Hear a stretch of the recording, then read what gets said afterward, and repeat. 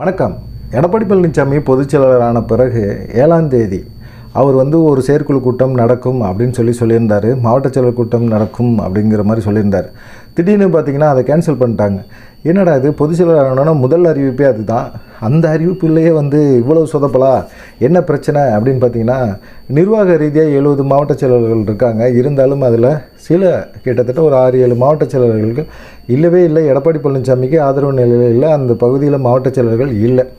அதை முதல் ஃபுல்லாக பண்ணணும். ரெண்டாவது வந்து செயற்குழு கூட்டம் கூட்டணும்னா ஒரு பதினஞ்சு நாளைக்கு முன்னாடி நோட்டீஸ் கொடுக்கணும். அப்படி நோட்டீஸ் கொடுத்து குறைஞ்சபட்சம் ஒரு ஏழு நாளாவது நோட்டீஸ் கொடுக்கணும்.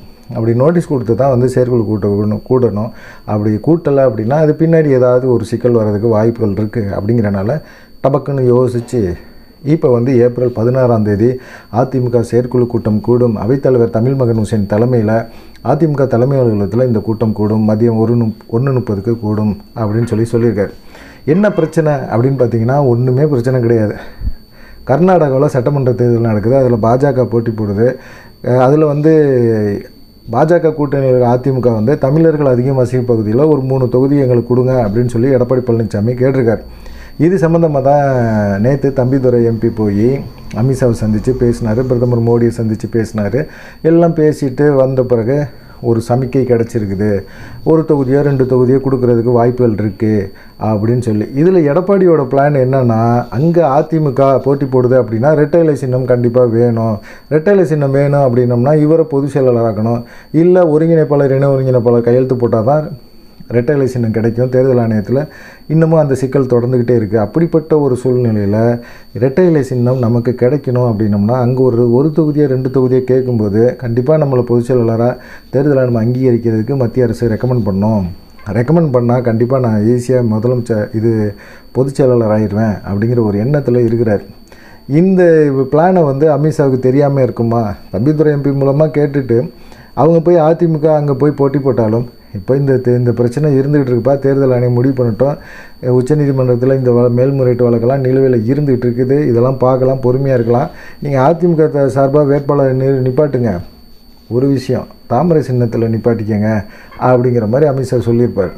இப்போ வந்து அவசரமான ஒரு ஆலோசனை கூட்டத்தை செயற்குழு கூட்டத்தை கூட்டி மிக முக்கியமான ஒரு ஆலோசனைலாம் நடத்த போகிறாரு அப்படிங்கிற மாதிரி சொல்கிறாங்க இதுக்கிடையில் ஓபிஎஸ் வந்து திருச்சி பொன்மலை பகுதி பொன்மலை கார்னர் பகுதியில் வந்து ஜி கார்னர் பகுதியில் ஒரு அஞ்சு நாளைக்கு அந்த கிரவுண்டை புக் பண்ணி வச்சுருக்கிறாங்க அப்படிங்கிறது தெரியுது.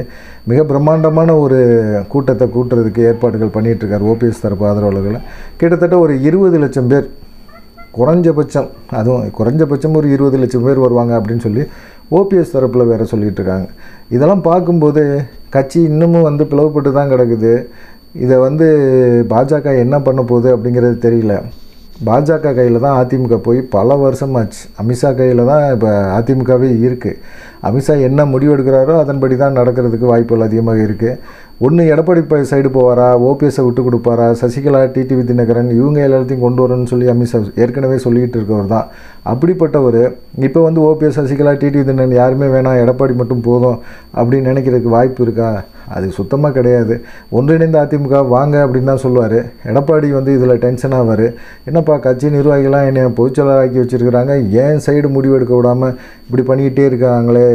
நம்ம அவங்க சைடு ஒத்து போக முடியுமா? அப்படிங்கிற ஒரு எண்ணத்தில் தான் இந்த செயற்குழு கூட்டத்தில் பேச போகிறாங்க அப்படிங்கிற மாதிரி ஒரு தோணி இருக்குது பார்க்கலாம். ஏன்னு கேட்டிங்கன்னா அமித்ஷா தம்பிதுரை சந்திப்புக்கு பிறகு இந்த செயற்குழு கூட்டம் அவசரமாக அறிவிக்கப்பட்டிருக்கு. தம்பிதுரை என்ன எடப்பாடி பழனிசாமிகிட்ட சொன்னார்னா ஒருங்கிணைந்த அதிமுகவை உருவாக்குங்க. அதுதான் அமித்ஷாவோட பல்லவியாக இருக்குது இந்த பல்லவி பிரகாரம் ஆனால் தான் அவங்க வந்து நமக்கு பொதுச் செயலாளர். அப்படிங்கிற ஒரு அங்கீகாரத்துக்கான ஒரு சப்போர்ட்டை பண்ணுவாங்க. ஓபிஎஸ்கிட்ட பேசுவாங்க அதுக்கப்புறம் அப்படிங்கிற மாதிரி சொல்லியிருக்காங்க. இதுக்காக தான் இந்த அவசர பொதுக்கூட்டம் அப்படிங்கிற மாதிரி சொல்கிறாங்க பார்க்கலாம் என்ன நடக்கும் அப்படிங்கிறத. நன்றி வணக்கம்.